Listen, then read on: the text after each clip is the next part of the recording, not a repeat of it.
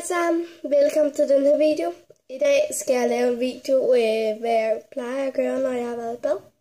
Som sagt, og så senere hen i videoen viser jeg, hvad for nogle produkter jeg bruger og sådan noget. Men øh, ja, nu vil jeg så bare lige tage noget tøj på, som jeg tror alle gør, efter de har været i bad.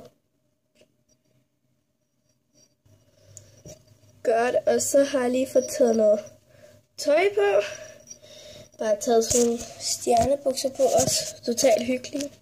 Nå, men det jeg også plejer at gøre, når jeg har været i bad, er at sætte mit hår op i håndklædet, fordi ellers så drøber det og sådan noget. Så ja. Og senere hen, eller lige om lidt, så vil jeg vise jer produkterne.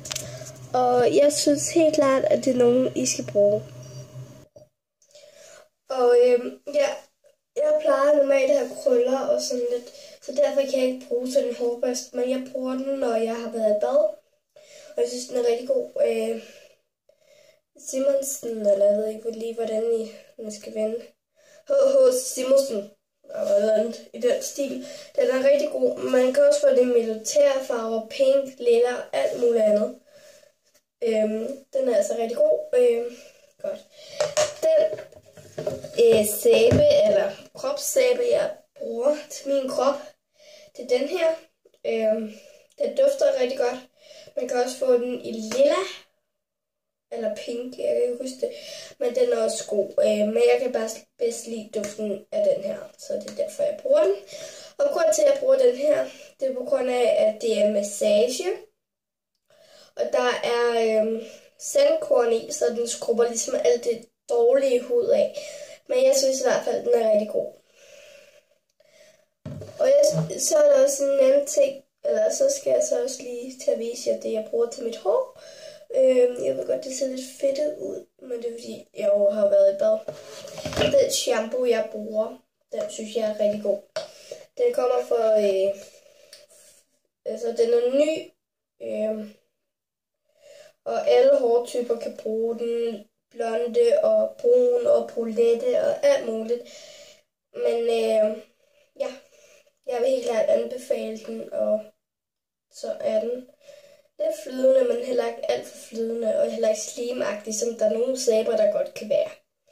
Og sidste produkt, jeg bruger, er øh, sådan en hårkur, for at holde styr på min hår. Godt være, der står mask, mask heroppe, men det er på grund af, at det er mærket Øh, altså det er ikke til huden, det er til håret. Øh, vi har fået den af vores frisør, og der er 500 mm i. Og, jeg, og den er sådan sort, altså i hvert fald udenpå, men indeni, der er det sådan en kamelfarve. Den minder rigtig meget om kamel. Øh, jeg kan lige prøve at tage den op på fingeren her. Og den har jeg faktisk brugt nogle par gange, som I kan se. Den er sådan helt kamelagtig. Den er i hvert fald rigtig god. Den giver så nogle lyse striber i håret, synes jeg. I hvert fald de gange, jeg har brugt den. Øh, den er heller ikke klistret i det, som de godt kan være. Men øh, jeg synes i hvert fald, den er rigtig god. Men øh, så det andet, jeg nogle gange gør, når jeg har været i bad, det er for eksempel at øh, lytte til musik. Ja, jeg skulle bare lige tage mine finger af på grund af det der. Så øh, lige nu vil jeg så ja, gå videre ind i videoen. Vi ser. Det andet, jeg også skal finde på at gøre, øhm, når jeg har været bedre og fået tøj på og sådan noget, det er for eksempel at nusse med min dyr. Øh, vi kan lige starte med min kat Bingo. Han er lige herovre. Da -da -da -da. I sin kattehule. Yay! Hej Bingo! Hej! Kan du sige hej? Og mit hår. Han er så nuttet. Han er så stille, så ja, jeg kan godt lide ham. Og min anden kat er inde på mit værelse. Så skal I se, om han er så nuttet. Nuttet, nuttet. Ja, han er ikke. Og han er altså også pænt tyk. Det vil jeg bare lige hilse at sige. Og sidste dyr, i rosinen.